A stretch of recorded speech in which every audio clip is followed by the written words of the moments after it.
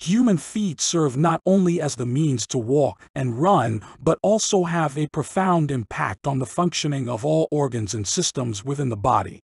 That's why feet are often referred to as the second heart of a person. They house active points directly connected to internal organs and contain over 70,000 nerve endings. However, many people underestimate the critical role that feet play in our overall well-being. Neglecting proper foot care can lead to orthopedic, infectious, and dermatological issues, ultimately affecting one's health and productivity. Fortunately, you don't need to visit expensive wellness centers to take care of your feet. You can help both your feet and yourself right at home. Simply by soaking your feet in baths with natural additives and therapeutic herbs, you can improve their condition and promote overall well-being. Foot troubles. Feet endure significant stress due to the fact that most of the day, people are on their feet. They spend nearly the entire day in closed shoes, which may not always be the right size and aren't necessarily very comfortable. Often, they're deprived of the opportunity to get a sufficient supply of oxygen from the environment since they are covered with socks made of non-natural materials. The condition of one's feet can reflect the presence of chronic conditions, especially those related to impaired blood circulation. Feet frequently suffer in cases of chronic diseases like diabetes, atherosclerosis, and varicose veins. As a result of the influence of the factors mentioned, whether acting individually or in combination, the following conditions may arise. Fungal infections, which manifest as itching, burning, an unpleasant odor, and alterations in the skin and nail structure, calluses and corns, appearing as blisters with clear fluid or dry growths. They cause discomfort while walking and can lead to infections. Deformation of the joints at the base of the first toes of the feet, where the toe shifts to the side, causing pain during walking. Vascular insufficiency, which can lead to swelling of the feet, a feeling of fatigue and tension, hyperkeratosis of the feet, resulting in the development of cracks and inflammation, excessive dryness, and thickening of the epidermis due to hardened skin. Foot care. Taking care of your feet is essential and should be done diligently and regularly. This doesn't mean you have to dedicate all your free time to it, but you'll need to do a few things. Engage in specific exercises that relieve tired feet and enhance blood circulation in the lower extremities. You can simply roll a foot roller or a tennis ball while sitting. Wash your feet daily with neutral soap. Dry them thoroughly, and wear socks made of natural materials. Choose comfortable footwear. Utilize moisturizing and nourishing creams. Frequently replace insoles in all types of footwear from winter boots to indoor slippers. Trim your nails correctly, being careful not to injure the skin in the process. Another crucial and readily available way to maintain foot health is by using foot baths.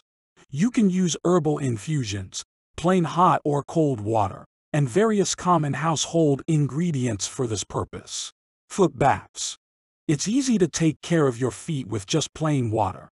Using water of different temperatures allows you to train your foot vessels, improve blood circulation in your feet, and stimulate overall blood flow. You can do this in several ways.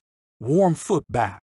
Fill a basin with water at around 36 degrees Celsius and try to maintain this temperature throughout the entire procedure. As it cools, add water at around 50 degrees Celsius. The duration should be about 13 minutes. After finishing, for vascular tone, give your feet a cold water dousing. Contrast foot baths are used to alleviate fatigue, promote increased blood circulation, reduce swelling, and enhance your overall well-being. Allocate around 15 minutes for the procedure and an additional hour for rest afterward.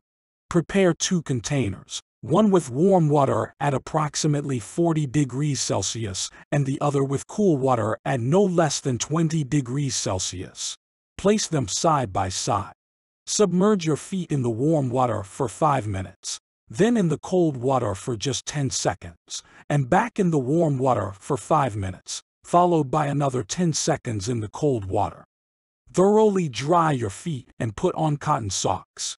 Lie down for an hour after the procedure. Perform these contrast baths twice a week, gradually increasing water temperature baths. These baths help restore free breathing through your nose and enhance your blood vessels' adaptive properties. They take care of not only your feet, but your entire body. Start with water at approximately 33 degrees Celsius for 15 minutes and then gradually raise the temperature, but not exceeding 40 degrees Celsius. The total duration should not exceed 20 minutes. Perform these baths five times a week. To increase the water temperature, add hot water carefully to avoid scalding yourself, and take your feet out of the water during this process. Special foot baths with heating functions are available and are particularly convenient for those who frequently use this method, including elderly individuals. Foot baths with medicinal herbs. To enhance the effectiveness of the procedure, you can add various herbal extracts or infusions to the water. They have therapeutic effects for different foot issues.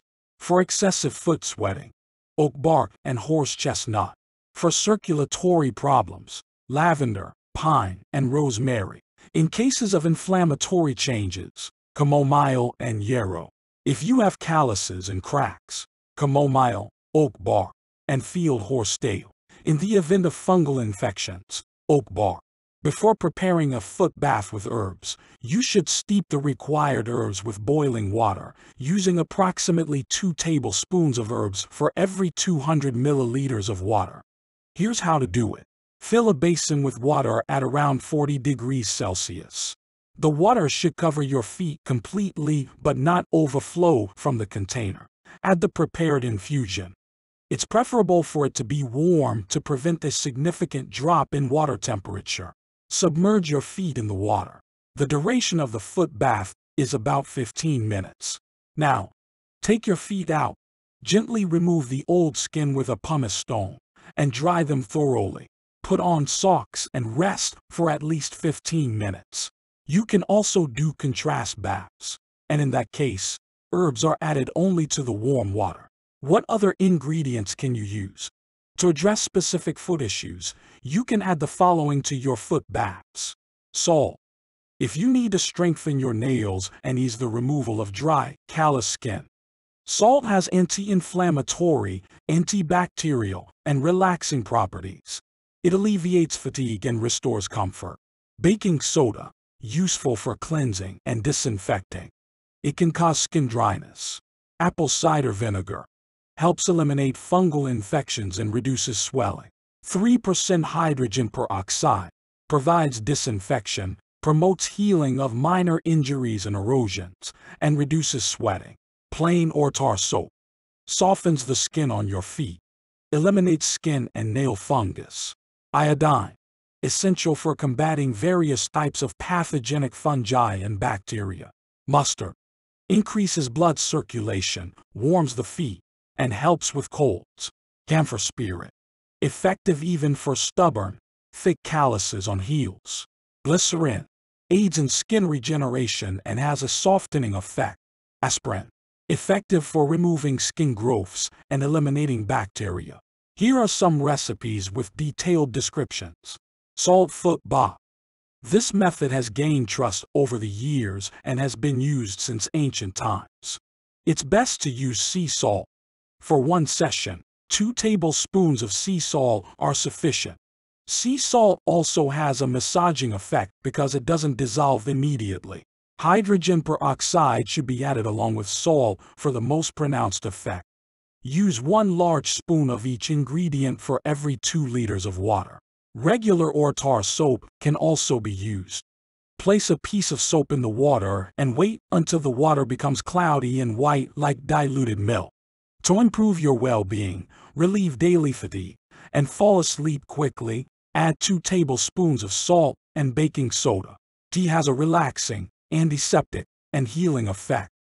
It's suitable for those with sensitive and delicate skin. Prepare a strong tea infusion and pour it into the basin with water. The duration of this foot bath is 20 minutes. To address various issues, you can use foot baths with different compositions, tailored to achieve specific effects. For calluses and corns, pour 5 liters of warm water into a basin. Add 4 pharmacy aspirin tablets, crushed beforehand, and 3 small teaspoons of hydrogen peroxide. The duration should be a quarter of an hour, and you should do this twice a week.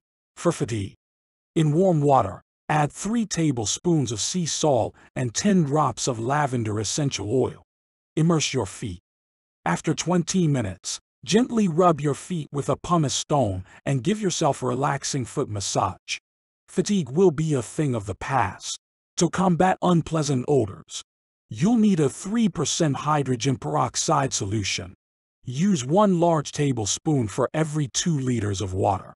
The duration is 15 to 20 minutes. It's advisable to do this daily. Foot baths are a somewhat forgotten but effective hygiene and wellness method. Regularly performing these procedures will improve the condition of your feet, help address skin issues, and reduce inflammation. These practices will have a positive impact on your overall well-being and make you more resilient, both mentally and physically.